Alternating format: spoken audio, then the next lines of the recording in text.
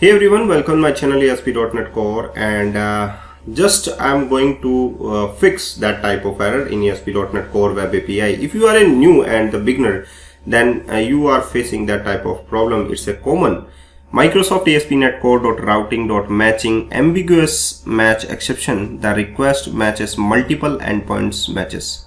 So uh, what is the multiple endpoints?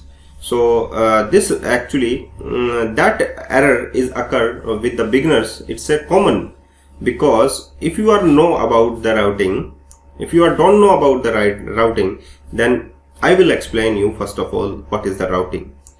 If you are defined MVC routing or you can say attribute routing in a web API then there is a no means and there is a no means of action name in the routing so there is a no means uh, action name. If you are not defining in the attribute routing of your action name, then there is a no mean of your action name in routing. Clear?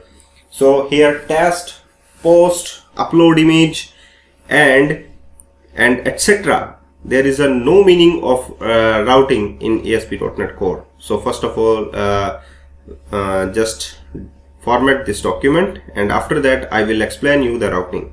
So the routing is API slash controller. So the routing is API and controller name is a category. Okay. So here we have API slash controller name that is category and slash 3 is the ID and the ID is here we have 2 that is HTTP GET with the ID and similar with the uh, with the get action method you can see that id that is the id so api slash controller name slash id so here we have two endpoints in the web api code. So first one is this and second one is the just under below. So there is that action method and that action method. Wait wait wait. And that action method both are the same endpoints because here we have the only single id at here. You can say that HTTP get ID and HTTP get ID both are the same endpoints. And here get and the test there is a no meaning because you are not defining any uh, any action name in the routing.